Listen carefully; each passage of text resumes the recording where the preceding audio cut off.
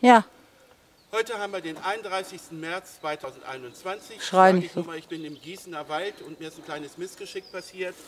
Ich habe mich hier auf den Jägerstuhl gesetzt und man sieht ja, meine 120 Kilo hat er nicht abgekonnt, ist zusammengefallen, ist zur Seite weggefallen. Ich habe mich Gott sei Dank nicht, nicht verletzt.